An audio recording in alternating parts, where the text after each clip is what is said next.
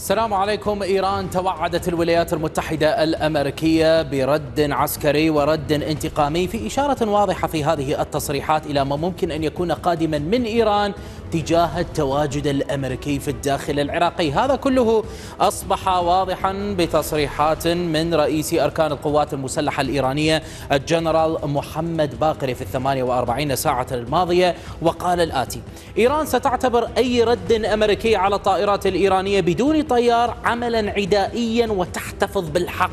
في الرد هذه التصريحات هي جاءت مباشرة بعد إعلان سنتكوم القيادة المركزية الأمريكية بهذا الشكل بأنها أسقطت طائرة مسيرة إيرانية وهذه الطائرة هي من نوع مهاجر ستة وطبعا تحدثت القيادة المركزية الأمريكية بأن هذه الطائرة كانت متوجهة إلى أربيل وكانوا يعتقدون ووجدوا بأنها تشكل خطرا على التواجد ومستشارية التحالف الدولي هناك وبالتالي وعلى هذا الأساس أسقطوا هذه الطائرة. كذلك التصريحات الإيرانية هي تأتي أيضا وبشكل غير مباشر وواضح تماما أن المسألة مرتبطة بهذا المواطن الأمريكي أو هو المواطن الإيراني الذي هو طبعا من القومية الكردية ويحمل الجنسية الأمريكية. هو عمر محمود زادة والذي اعترفت الخارجية الأمريكية بأن هذا الرجل قد قتل بسبب الضربات والعملية العسكرية الإيرانية التي تقودها في إقليم كردستان. هذا الرجل ظهرت له صورة أخرى بهذا الشكل لطبيعة طبعا هذا الرجل وهنالك قلق كبير مما ممكن أن يكون قادما.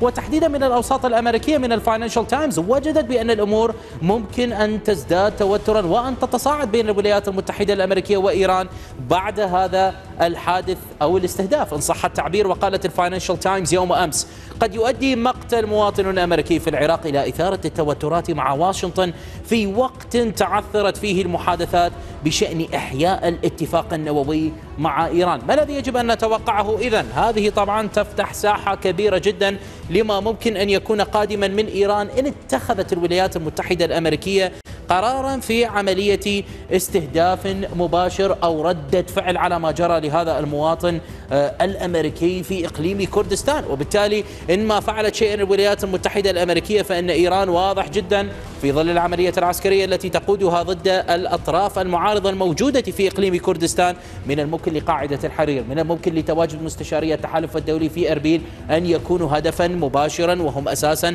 فعلوا هذا الأمر سابقا مع قاعدة عين الأسد ولديهم الإمكانية لفعل هذا الأمر. مرة أخرى أيضا كانت هنالك تحركات تحدث عنها المرصد السوري لحقوق الإنسان في الأربع وعشرين ساعة الماضية للفصائل المسلحة المقربة من إيران.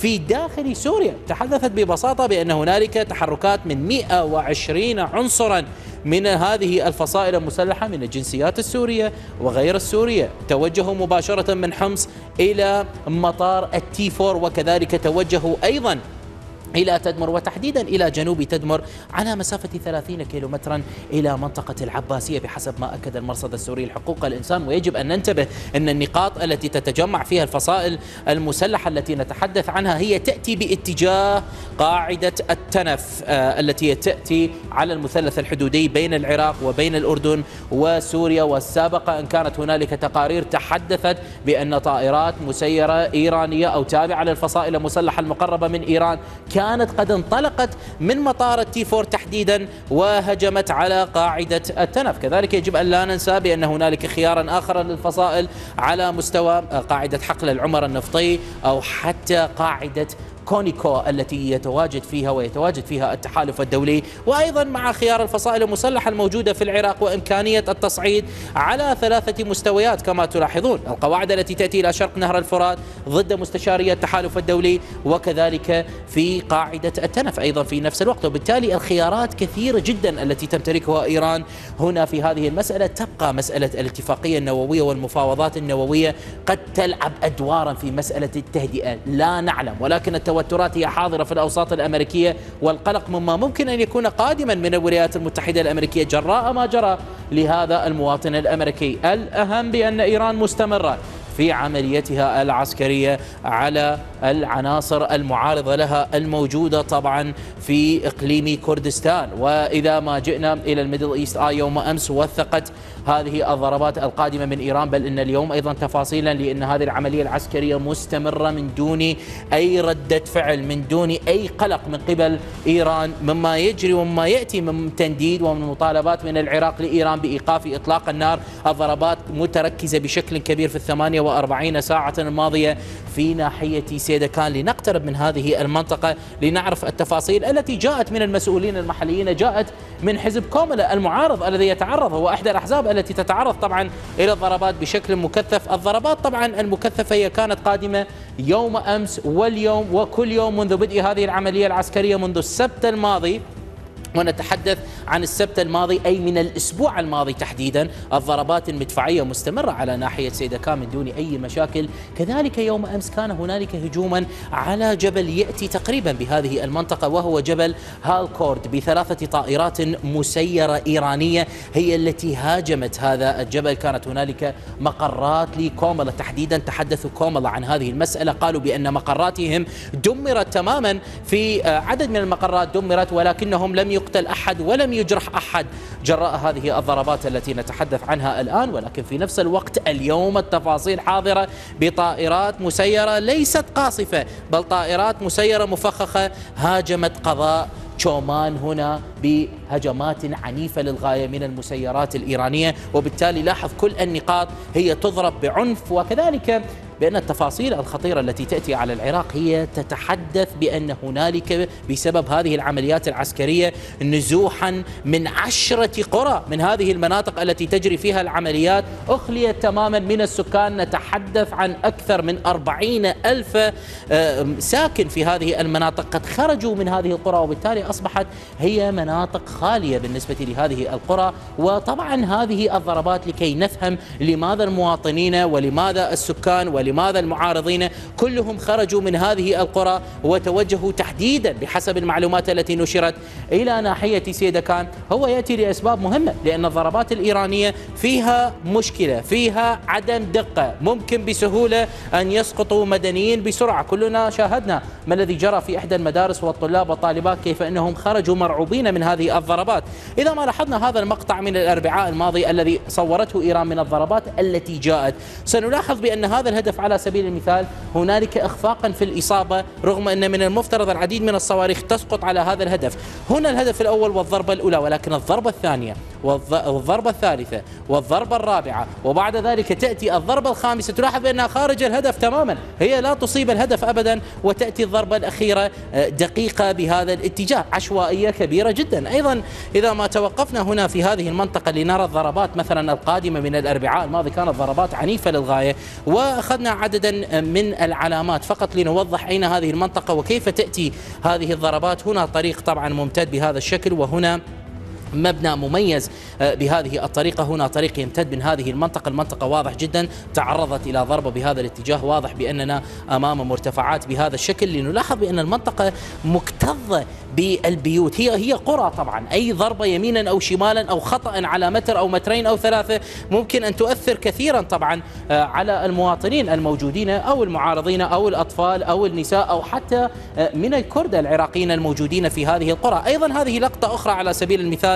عندما نأخذ علاماتها تأتي بهذا الشكل المميز هنالك فراغا في هذه المنطقة الوسطية كما تلاحظون. أيضا هنا مبنى مميز وبارز وكذلك أن هذه المنطقة تأتي بهذا الشكل تقريبا واضح بأنها مميزة مع هذا الجبل الواضح بأن هنالك لونا يأتي باللون الأسود مرتفعات كما نتحدث الآن. واضحة جدا المنطقة. لنلاحظ إذا هذه الضربات كما تلاحظون ضربات كثيفة جدا. عندما تأتي الضربة تأخذ أربعة خمسة مقرات متتالية مع العشوائية مع غيرها تفسر تماما لماذا تأتي هذه المسألة الخطيرة وهي عملية النزوح التي بدأ الحديث عنها الآن.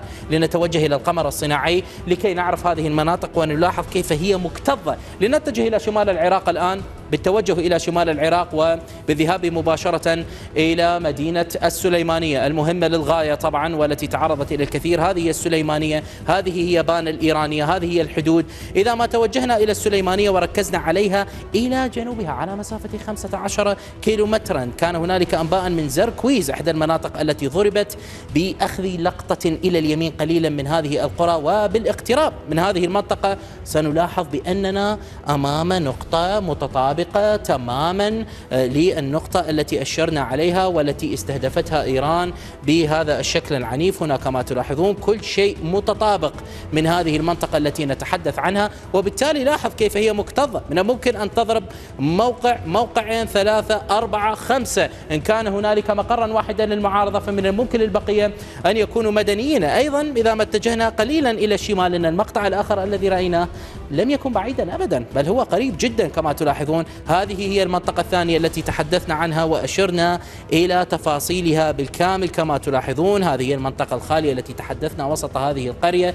الضربات كانت حاضرة هنا. هذا هو المبنى المميز والشكل واضح جدا لهذه المنطقة. ليس هنالك شيئا غريبا وهذه النقطة التي أشرناها آه، من الجبل والمرتفعات طبعا واضحة. بالتالي لاحظ الانتشار الكبير لهذه القرى عندما تضرب بهذا الشكل العنيف مع حقيقة أن هنالك قرى ما بين هذه القرى التي تضرب أي بين قرية وقرية قرية مناطق آه، آه، صغيرة بسيطة وبالتالي الضربات التي تأتي إلى جنوب السليمانية التي نتحدث عنها والضربات التي تأتي على الحدود هذه اللقطات القادمة من إيران هي تفسر تماما لماذا هنالك نزوح واضح جدا من هذه المناطق للعديد من الأسباب. طبعا النزوح الذي نتحدث عنه الآن من عشرة قرى وهو مستمر هذا الأمر بالتصعيد هو أمر يزيد من الأعباء آه، ليس فقط على حكومة إقليم كردستان وعلى ناحية سيدكان ومن الممكن للنواحي الأخرى أن يزداد الضغط عليها بسبب هذا النزوح القسري بسبب هذه العملية العسكرية التي تقودها إيران في إقليم كردستان ولكنه يزيد العبء. على الحكومة الاتحادية أين أنت يا حكومة بغداد؟ في مواجهة هذه المسألة تحديدا. المشكلة بالنسبة لهذا الملف والمواجهة التهديدات الإيرانية تجاه الولايات المتحدة الأمريكية سقوط مواطن أمريكي ترقب لما ممكن أن تكون ردة الفعل الأمريكية على إيران.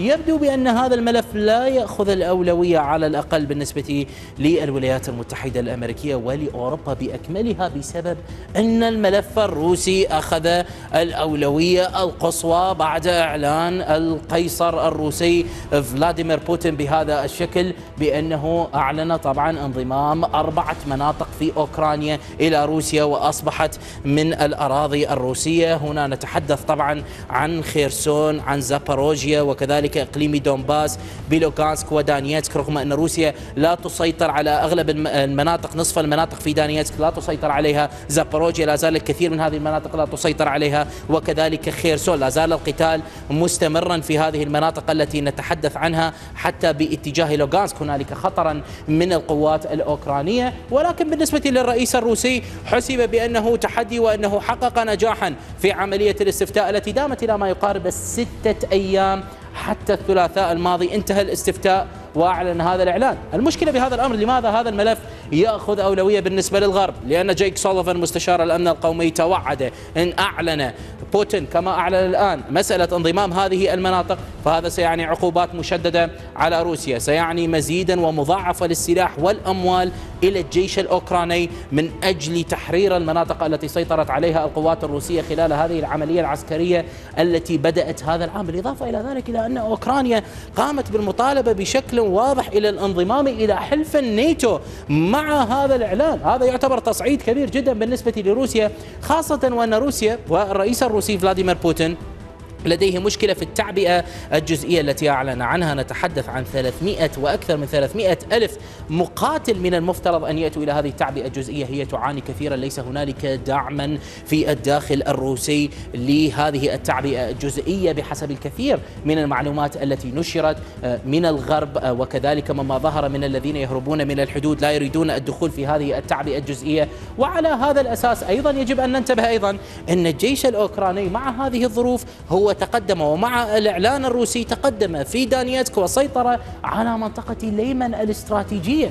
وهذه المنطقة والسيطرة عليها توضح أن القوات الأوكرانية ستستمر في عملية الضغط ومحاولة السيطرة ويفتح الباب إلى الأمر الأخطر على الإطلاق ألا وهو استخدام روسيا للسلاح النووي. وجدوا طبعا رئيس هيئة الأركان الأمريكية السابق مايك مولر على سبيل المثال. وكذلك السناتور الأمريكي السابق سام نان. وجدوا بأن الرئيس الروسي فلاديمير بوتين مع أي تقدم قادم بعد ليمن قد تكون ليمن كافية أو أي تقدمات سريعة من القوات الأوكرانية. على الروس في الأراضي الأوكرانية. هذا سيعني ببساطة بأن بوتين سيذهب إلى استخدام السلاح النووي وهم محقين على ما يبدو بعد تصريحات كانت قادمة من رمضان قاديروف الرئيس الشيشاني الذي طالب الرئيس الروسي فلاديمير بوتين بما أن بوتين قد هدد باستخدام السلاح النووي طالب باستخدام نووي محدود القوة أو مح... نووي محدود ليس بنوع القنبلة النووية الكبيرة والهائلة ولا بد من استخدام الأسلحة النووية